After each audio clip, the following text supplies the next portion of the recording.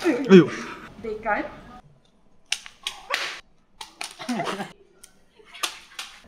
Is it carbonara? Oh shit! Oh my god. Oh no.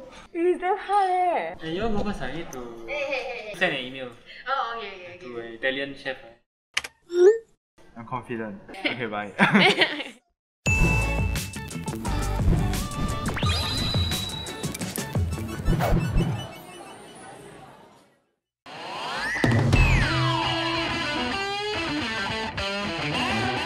I think uh, this is the most lost and nervous I've been based on the previous Eatbook, uh, How You Cook It Shoots. Right? They will usually like place the ingredients uh, in a very convenient place. So let's check out. Look at this arrangement. Too neat to be true, right? So I, I think I'll probably need some eggs. Ah, new mushrooms. Huh. Oh, sheep's milk cheese. Interesting. Okay, so these are the ingredients that I'm gonna use to make Hafeez's carbonara. So we have garlic, onion, pecorino romano, Italian sheep's milk cheese, turkey bacon, mushroom, eggs, milk, and linguine. Oh, sweaty eh, nervous eh. Okay, come, come, come. Ah, the sound of failure. Add in some salt, some salt. it was quite a lot. Okay, fine. Oh no. What what's happening? Pick up sticks. Wee-hoo. In the meantime, I'm gonna prepare the other ingredients. Now, how to slice this mushroom? Ah, my left armpit is a bit warm. Oh no. Why is it so fast? Ah, ah. I recently had the second dose eh, for COVID vaccine. I think it affects cooking skills also, eh, if I'm not wrong. Hoffma will catch you. Come on, man. I saw this on a TV show. You work. okay, here it is.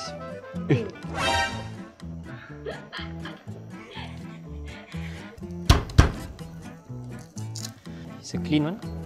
From the previous experience of cooking aglio olio, tip I got was uh, to make sure that it's not cooked 100%. Okay, I'm just gonna take a piece. If you wanna test if uh, the pasta is more or less done, right?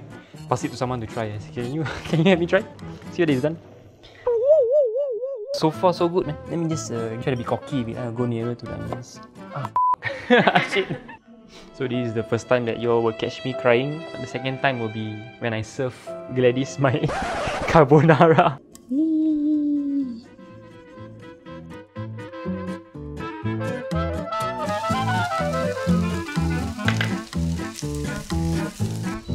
Okay, okay. Oh no. Oh shit. Oh shit, no.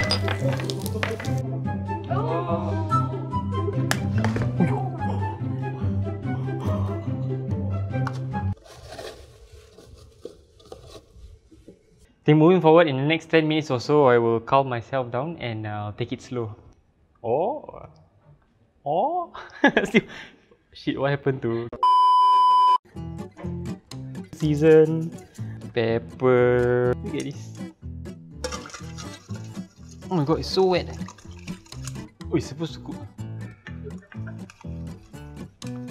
Cool. Dry aged pasta. oh, okay, okay. I add a bit only, yeah. Okay, okay. Okay, so this is the carbonara I've made. I think uh, if I could name it, I would call it the sayonara because I think I will chow lah after whoever will chow lah after eating this. Huh? But if I can do it, I think you better not do it because it's quite tough.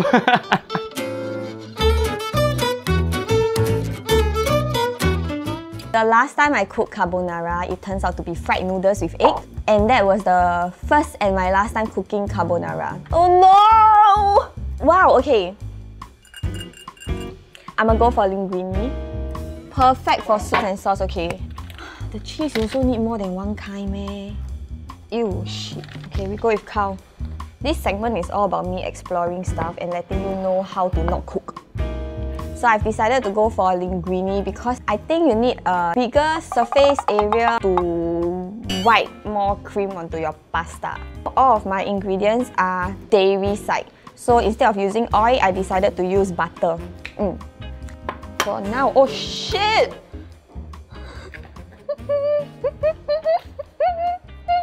See, egg got shit one. You need to take out. While I'm preparing the sauce, I should cook the pasta.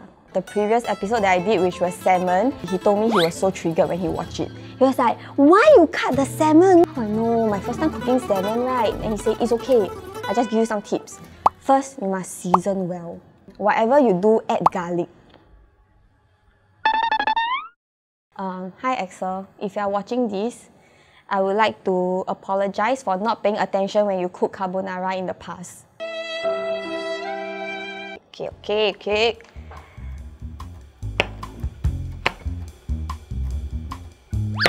Aha, aha. After one or two episodes, I learned already. You must salt your water. One they say, I don't know who say, but they say this hole is for you to measure. Hafi say one ah, then don't trust. Uh, your I'm gonna dice into cubes. Okay, okay, we want our pasta to be al dente.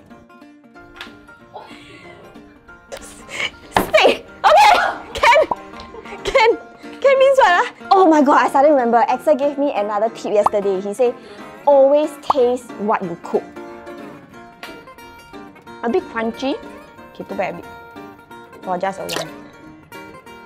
Oh, the color does look a bit like carbonara color. A bit. A bit more.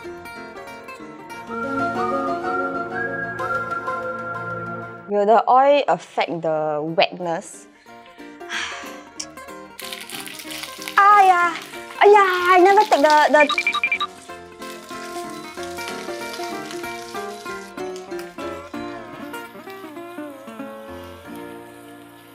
Ladies and gentlemen, I present Switching up my positions for you in the kitchen and in the bedroom.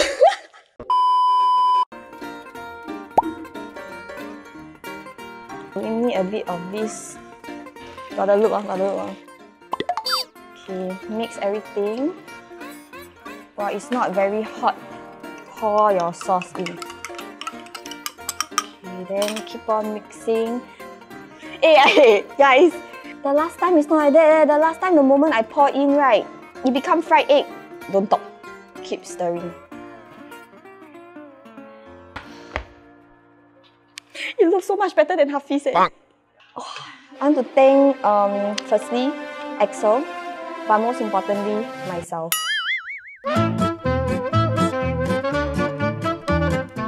Okay, so this is my final product. It is a carbonara, not fried noodle, not Hokkien mee. Wow, the smell of the milk very strong.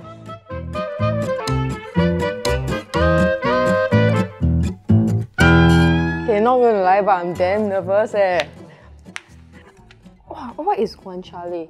Okay, so my ingredient to make a carbonara, which I think it will turn out like a carbonara, is um, cheese. This looks more premium than the turkey bacon inside, so that's why I choose that. Fresh milk, mushroom, cooking cream, definitely need your eggs, salt and black pepper, and because I prefer linguine, I'm trying to remember all the recipes I've learned on TikTok. I need to prep before cooking anything. Because I, I have mushroom here, right? So I need to saute it with um, garlic, give a bit of like flavor. How do I like my carbonara? Um, creamy. A good carbonara is very hard to make. When was the last time I chopped garlic? Was 8 years ago.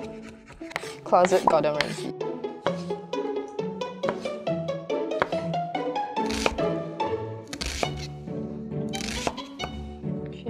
I don't even know how to deal with this.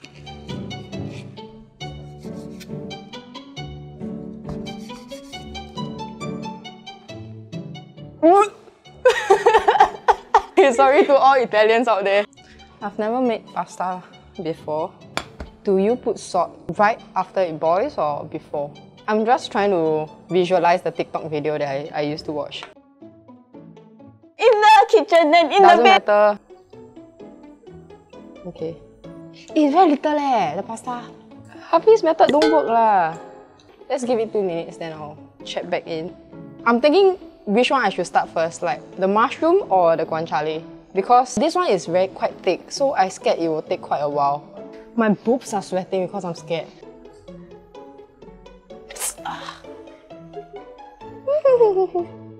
Actually, I should put the oil now. Okay! Wake up already.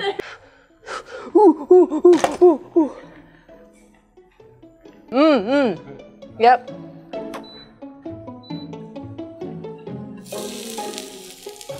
Wow, smells good already, bro. You don't want to burn garlic because then it will be bitter. I need more oil. I'm just gonna put the guanciale inside now. Just like that. So Saute. You're taking a bit long ah, to cook. Gordon Ramsay also say season your food.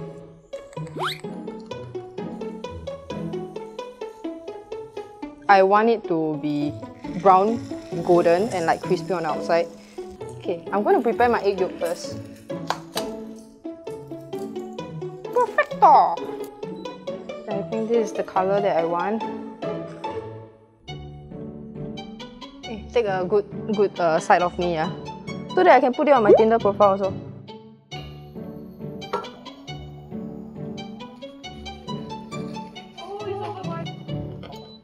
My egg! My egg! okay, bring the heat back up, but it's not melting the cheese eh. Dude, the consistency does not look great, man. Wait! Wait, no, no, no, don't do this to me. I might have just overcooked the egg lah.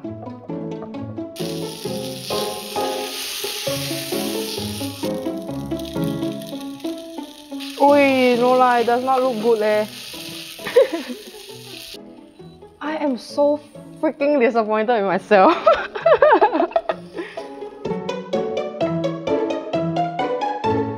Why you make me taste this?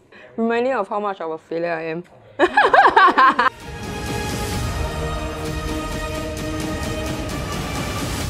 This is probably like the first real Italian pasta dish I've learned, so I hope I don't f this up. is that all? Cheese! Carbonara is a very classic Roman dish. So traditionally, it only uses a few ingredients. Spaghetti, eggs, black pepper, salt, cheese, and cured meat. So the most traditional form is actually guanciale, which is what we have here is the jaw of the pig. If you cannot eat pork, you can substitute with any other cured meat which has like a high fat content. Then for cheese, the most traditional one is actually Pecorino Romano, which is a sheep's cheese. I like the taste of Parmigiano, so I'm gonna do a mix of it. First up, I'm gonna crack the eggs into the bowl. So right now I'm making the sauce. What I'm gonna use is one whole egg and one additional egg yolk. Okay, now I'm gonna grate the cheeses in. You probably want around 70 to 80 grams of cheese, but I'm too lazy to measure, so I'm just gonna YOLO. Okay. I think it should be enough. Your paste should look something like that. lah. Okay, another very important thing is also the black pepper. Freshly cracked black pepper is always the best. And I like it in between fine and coarse. Mix into the sauce also. So for pasta, right, you always salt your water. This is to season the noodles. So be generous with the salt. While the water is boiling, I'm gonna actually prepare the meat. So what I'm gonna do is cut the skin off.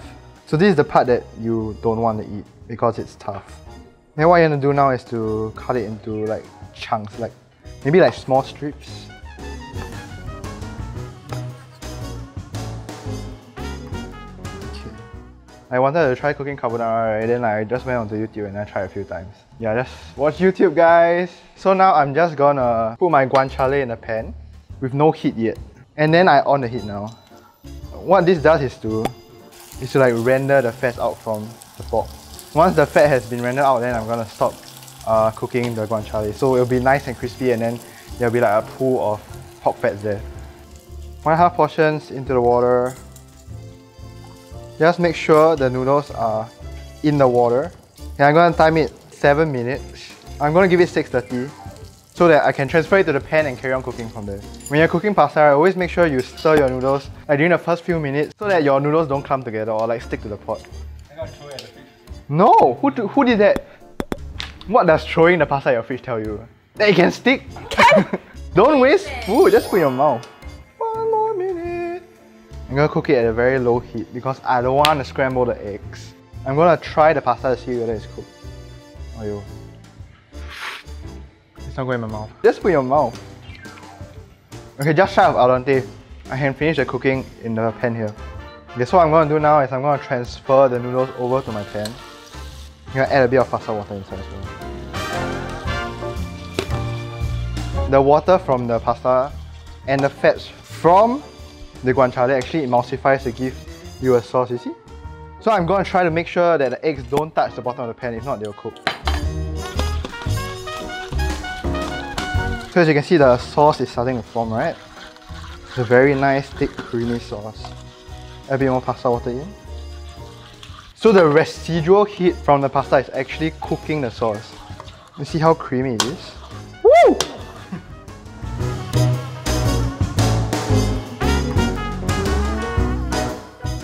Oh my god, it's so freaking creamy.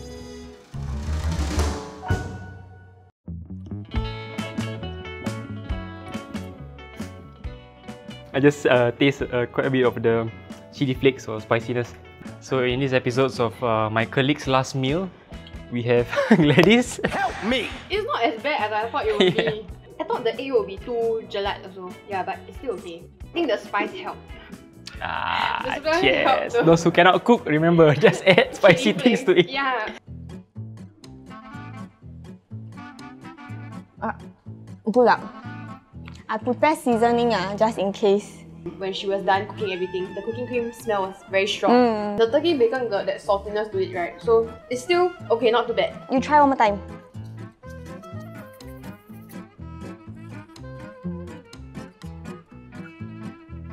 Yeah, the salt. The guanciale was a good choice because it added another texture, crunchy on the outside and then like softer in the inside. It doesn't taste like carbonara lah, really. Sao mian ah?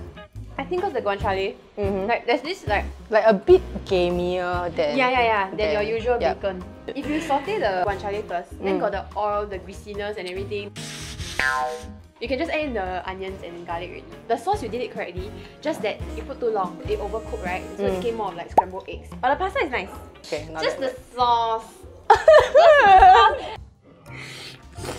This is carbonara. I know Mav knows how to cook carbonara, so I'm very very excited to try. it. Come on, please tell me it's nice. It's definitely creamy. It's less gamey than the previous one. Part of the gaminess actually comes from the pecorino cheese also. So if you don't like gamey stuff, use pancetta and use Parmigiano Reggiano. Yeah, so if you prefer like less meaty, bacon will be there. Yep, correct. Yeah. How would I rate this dish?